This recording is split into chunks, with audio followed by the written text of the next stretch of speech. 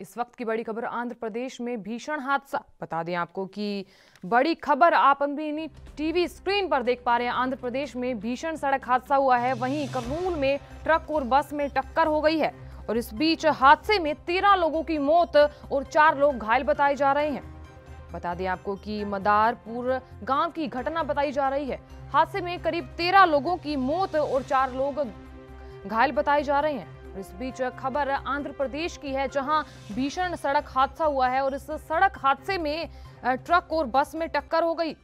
बता दें आपको कि इस हादसे में तेरह लोगों की मौत और चार लोग घायल बताए जा रहे हैं और ये पूरी घटना मदारपुर गाँव की बताई जा रही है। इस वक्त की बड़ी खबर आंध्र प्रदेश में भीषण सड़क हादसा हुआ है और इस सड़क हादसे में तेरह लोगों की मौत और चार लोग घायल बताए जा रहे हैं। करनूल में ट्रक और बस में टक्कर के कारण ये भीषण हादसा हुआ है। वहीं इस हादसे के कारण तेरह लोगों की मौत और चार लोग घायल हो गए हैं। आंध्र प्रदेश में इस वक्त की बड़ी खबर, भीषण सड़क हादसा हुआ है। भीषण सड़क हादसे में तेरह लोगों की मौत और चार लोग घायल बताए जा रहे हैं। इस वक्त की बड़ी खबर आप अपनी टीवी स्क्रीन पर देख पा रहे हैं। आंध्र प्रदेश में भीषण सड़क हादसा और इस सड़क हादसे में तेरह लोगों की मौत हो गई है और चार लोग घायल बताए जा रहे हैं।